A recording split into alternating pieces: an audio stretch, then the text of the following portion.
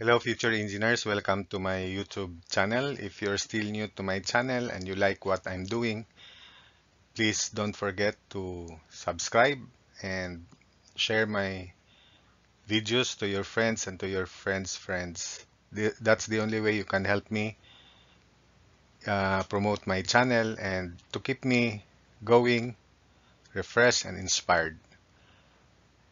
And I'm I'm very willing to share my knowledge, especially topics in civil engineering for your benefit. The figure shows the state of stress at a point, knowing that the maximum in-plane shear stress at this point is 10 megapascals, determine the value of sigma y. So let's plot uh, positive 30 comma negative 8. That's sigma x comma tau xy. And let us assume that sigma y, although tension is uh, lesser than 30. So the other point, sigma y comma negative of tau xy is sigma y comma positive 8.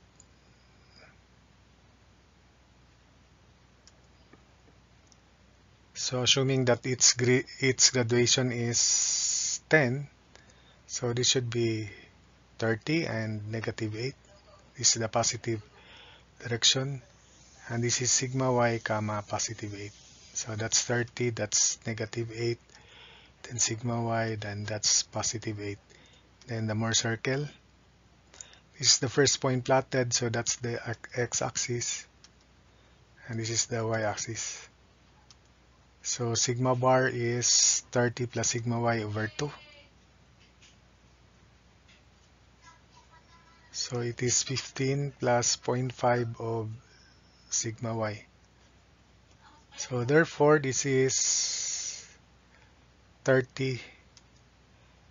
Let's reduce that's 30 minus sigma bar and r is equal to 10 given in this uh, problem. So r square equals quantity 30 minus sigma bar square plus 8 square. So 10 square equals quantity 30 minus sigma bar square plus 8 square. So 36 equals 30 minus sigma bar quantity square. Extracting the square root plus minus 6 equals 30 minus sigma bar. If we use positive 6, so sigma bar is 30 minus 6, so 24. If, if the sign is negative 6, then sigma bar would be 30 plus 6, so 36. So if sigma bar is 24, substitute here 24 equals 15 plus 0.5 of sigma y. So sigma y is equal to 18 megapascals. If sigma bar is 36, so 36 equals 15 plus 0.5 sigma y. So sigma y is equal to 42 megapascals. So there are two possible answers. Sigma y is 18 megapascals or 42 megapascals. The figure shows the state of stress at a point knowing that the normal stress acting on the plane AA is 28 megapascals tension, determine the value of sigma x.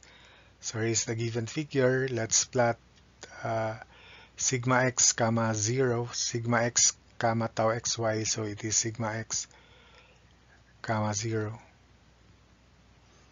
and the other one is sigma y comma negative of tau xy. So 84 comma 0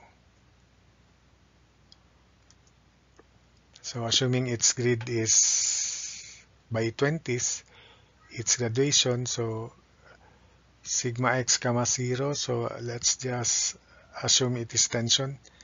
It's there. And 84 comma 0 would be here this is the first point plotted. Let's draw the Mohr circle.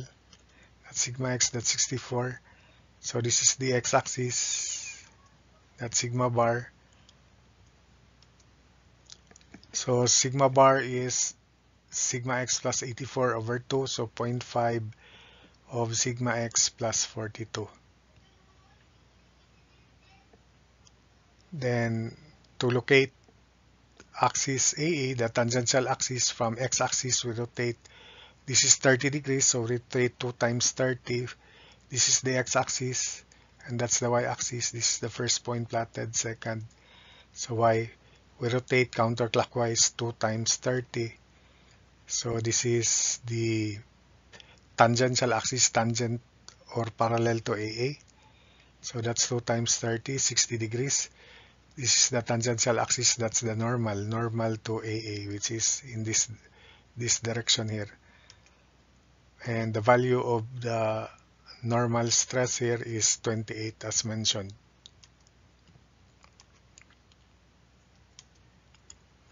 So if the radius is r, then 28 is sigma bar plus r cosine 60. This is, imagine a right triangle here. The horizontal leg is r cosine 60. So sigma bar plus r cosine 60 is 28 megapascals. So 2r equals 84 minus sigma x. 84 minus sigma x is the diameter.